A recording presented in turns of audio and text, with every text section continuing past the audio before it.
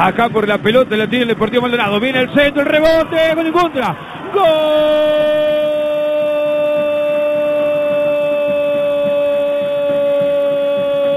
Increíble. ¡Gol!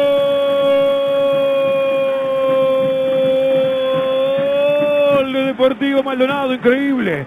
El centro que no era bueno. El centro que parecía ser fácil para la defensa violeta. Termina rebotando en Guillermo de los Santos. Este cambia absolutamente el camino del balón que termina contra el palo dentro del arco del golero Matías Dufour que no puede creer cómo esa pelota cambió el rumbo tan rápido. Luego del rebote de Guillermo de los Santos un error, otro error y un rebote. Lo pone en ganancia Deportivo Maldonado, señoras, señores.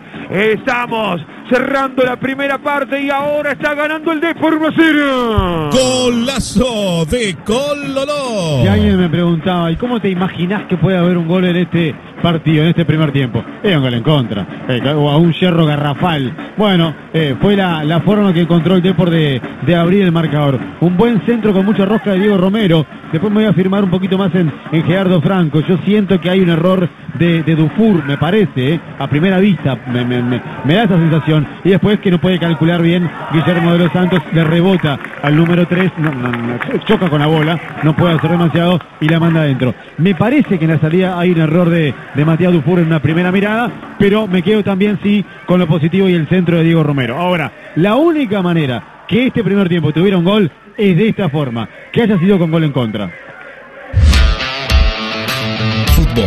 Por Carve. Señoras, señores, viene defensor. Se cambia de lado Nicolás Rodríguez para venirse ahora a tirar el centro, pero desde la banda izquierda. Señoras, señores, van los violetas. Ahora los que defienden son los de el de Maldonado. Defiende Maldonado y ataca el equipo violetara. Allí con la pelota le pega a Rodríguez, manda al centro. Penal, penal, penal, penal, penal.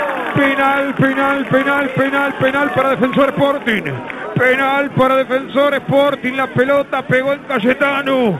Dice el árbitro que dio en la mano del marcador Fernandino. Hay penal para Defensor. Hay penal para el equipo Violeta. Bueno, obviamente que es la, típica jugada donde, donde, nos vamos a apoyar con Gerardo Franco. A primera vista, digamos, la, la jugada es rápida y yo creo que eh, Ángel Cayetano eh, va, va con, con, todo su cuerpo y creo que la bola le termina dando en la, en, en la mano. Mi duda es esa mano cuán pegada al cuerpo la tenía, cuánto amplía el, el volumen de, su cuerpo. Es mi única duda que la vamos a ver con Gerardo Franco eh, con el monitor, pero que la mano existió, yo diría que no tengo dudas.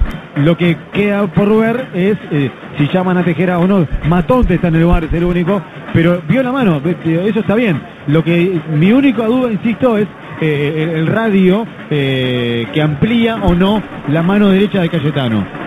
Vamos a ver, eh. Vamos a ver, a ver qué pasa. El árbitro del partido sancionó el penal. Allí está acomodando absolutamente todo en el área.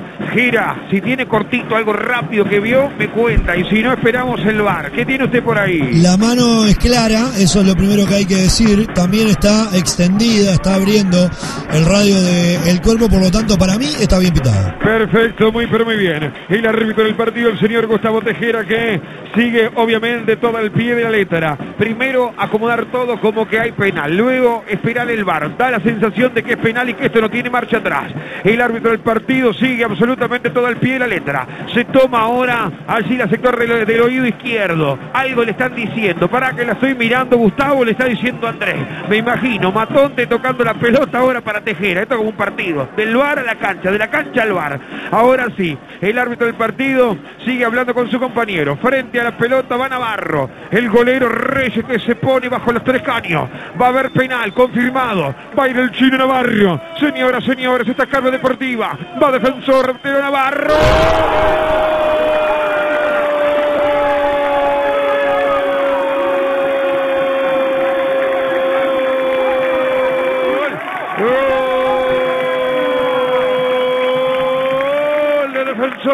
Defensor, defensor. El chino Navarro, el goleador, el gran goleador Violeta. Pone el empate. Álvaro Navarro, la pelota por un lado, Reyes para el otro. No la pasaba bien defensor. Era una noche complicada, pero le empató el goleador. El chino Navarro puso el 1 a 1. Golazo de Cololó. Bueno, primero el acierto de Tejera, ¿no? Que, que vio la mano, lo pitó y fue penal entonces para el conjunto violeta. Y después lo de Chino Navarro, ¿no? Que tiene eh, una efectividad en cuanto a penales bastante importante para el fútbol uruguayo. Muy buen remate al palo derecho de eh, el portero Guillermo Reyes. No va a aparecer en la foto, no lo busquen, porque no va a aparecer. Se tiró al otro palo, notablemente rematado. Yo creo que está bien. El partido merecía este 1-1. Fútbol por.